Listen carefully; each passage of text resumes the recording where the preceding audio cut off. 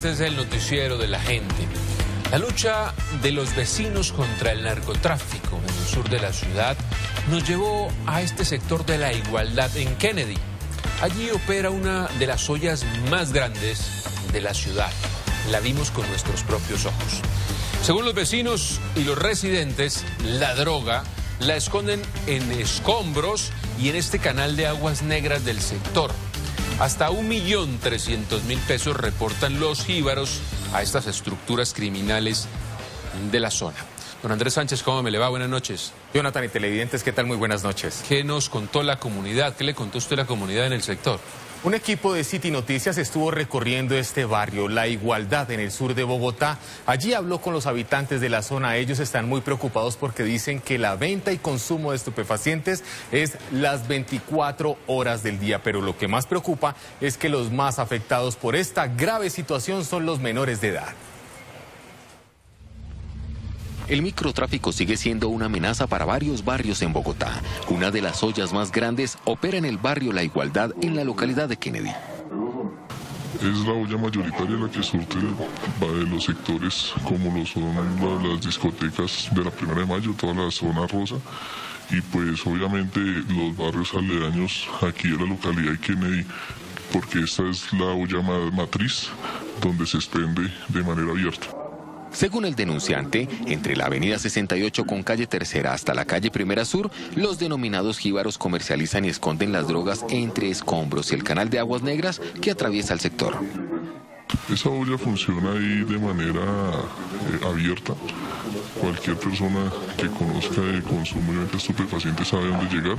Esto se convirtió en el mejor estilo del Bronx y como el sitio de cinco huecos donde pues los consumidores por su estratégico lugar llegan a comprar y a consumir de manera abierta. La mayoría de ellos son jóvenes que se mueven por las cuadras del barrio. Las ventas son al menudeo y cada expendedor tiene una cuota diaria de hasta 1.300.000 pesos. La policía está vea, ahí no pueden ingresar las patrullas solos, sino tienen que ingresar en, en varios grupos, de los cuales eh, por su lugar estratégico, pues obviamente eh, los delincuentes aprovechan este sector. En el año 2014 se realizó un consejo extraordinario de seguridad en esta zona. El entonces alcalde de Bogotá prometió intervenir y hasta el día de hoy los habitantes del sector siguen esperando los operativos.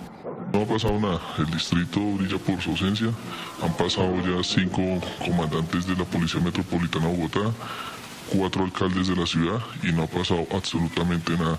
Lo único que viene pasando es el incremento del hurto y la, de la delincuencia en el sector. Algunos padres de familia luchan a diario contra este flagelo y hacen todo lo posible para salvar a sus hijos del infierno de las drogas lo enviamos a otro colegio, pero en realidad eso no sirvió de nada. ¿Por qué? Porque él ya conocía a las personas que le daban el vicio, sabía dónde podía conseguirlo, las ollas, a quién podía llamar y se lo llevaban a domicilio. Entonces tomamos la decisión de sacarlo del país. La olla de la igualdad se fortaleció después de la intervención del Bronx y ahora es una bomba de tiempo que con el pasar de los días se sigue apoderando del sector y de decenas de jóvenes. Y hay varias ollas en la ciudad que están en proceso de gestación. Es muy importante los testimonios de los televidentes para encontrarlas. ¿Qué cifras está manejando frente al microtráfico en la ciudad y especialmente en esta zona, don Andrés? Cuéntenos. Jonathan, hablamos con expertos y ellos aseguran que las autoridades vienen haciendo su tarea, pero que no basta con el decomiso de 200, 300 o hasta 500 dosis en diferentes puntos de la capital. Dicen los expertos que la policía debe ir tras los cabecillas de estas organizaciones criminales. Según Néstor Rosanía, director del Centro de Estudios en Seguridad y Paz, las autoridades deben enfocar los operativos en la captura de los cabecillas del negocio del microtráfico en Bogotá. Las bandas y las organizaciones no desaparecen, simplemente se están trasladando de localidades. Aquí lo que tenemos que identificar plenamente cuáles son los cabecillas a partir de inteligencia de la policía y no creer que la solución es simplemente acabar con una casa puntualmente. Para el experto, los ingresos de la droga a la capital son principalmente por el sur de la ciudad. Por la autopista sur, mucha marihuana y bazuco que viene del norte del Cauca, Jambalota, Cuello, Toribío, está llegando a la ciudad. Tiene una gran zona de distribución que va a ser Suacha, Usme y Kennedy y a partir de ahí se distribuye en toda la ciudad. asegura que los delincuentes tienen su rol en cada una de las ollas, desde el campanero como el que distribuye, guarda y moviliza la droga. Unos manejan el tema de armas, otros manejan la logística, otros manejan una inteligencia y otros son los que hacen la parte operativa de la venta de la droga. Agregó que mientras el consumo y venta de estupefacientes sigan activos, las ollas se seguirán fortaleciendo en la ciudad. Os invito a que revisemos este mapa de la CICE precisamente con las ubicaciones de sus sectores más comprometidos en el tema del microtráfico. Veamos. En la ciudad, las denuncias que conocemos, las autoridades, los vecinos nos dicen, Kennedy, en Kennedy, Bosa y Ciudad Bolívar, Jonathan, En el esto sur de la ciudad. parte Ajá. del corredor por donde, según los expertos, está ingresando la mayor parte de la droga a la capital de la República, por el sur de la ciudad. sur de la ciudad. Tenemos Usme. Usme, allí también, Usme le abastece a Ciudad Bolívar, es lo que nos. Estuvimos hablando con el secretario de Seguridad y esa es una localidad que está preocupando últimamente. Allí se van a hacer unas intervenciones. Se van a hacer unas intervenciones dentro de poco. Mártires en el centro de la ciudad, que es habitual. Mártires, estaba leyendo inclusive aquí en Twitter que los televidentes dicen que es una localidad donde lleva años esta problemática del microtráfico. Chapinero, donde hay unas nuevas modalidades de drogas en Bogotá, Especialmente drogas sintéticas. drogas sintéticas, al igual que Usaquén, ¿no? Usaquén, donde esta semana también registramos la captura de alias Tusi que distribuía en la zona rosa del norte de la ciudad. Y el sector del verbenal, el codito, que también nos han denunciado por las redes sociales en las encuestas que estamos haciendo. ¿Y qué dijeron frente a todo esto en el eh, distrito, Andrés? Hablamos con el secretario de Seguridad. Él admite que este flagelo está disparando el homicidio en la capital del país por la disputa de territorios entre bandas criminales dedicadas al microtráfico y que hay ciertas zonas como las que acabamos de mostrar que se van a intervenir en las próximas semanas. La disputa entre bandas dedicadas al microtráfico por territorios en varias localidades de la ciudad ha incrementado el número de muertes violentas. Así lo confirmó el secretario de Seguridad, Hugo Acero.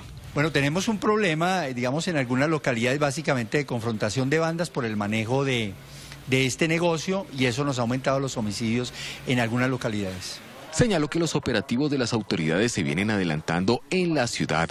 Varias bandas dedicadas al microtráfico han sido desmanteladas.